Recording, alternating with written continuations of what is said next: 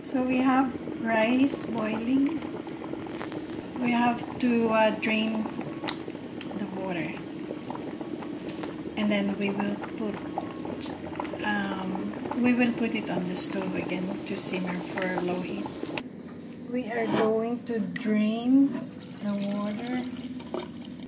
Okay, it's drained. We are putting it back on the pot. We are putting about 2 tablespoons of dill, fresh dill. We will let it simmer with a little bit of salt.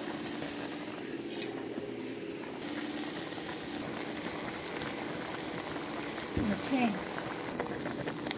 Let's put about 4 tablespoons of oil because this is about this is a lot of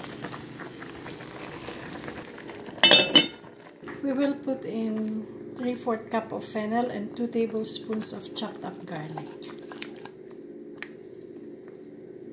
Plus 3 tablespoons of olive oil. As you can see, the yellowfin tuna is done. Putting in a little bit of salt.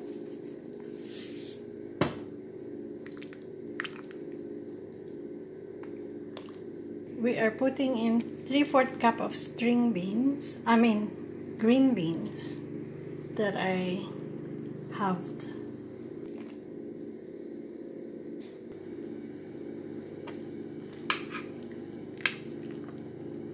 Let's taste it. Mm. Yeah. We are putting in our kale.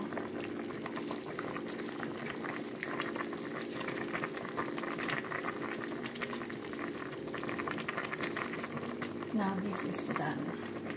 Okay.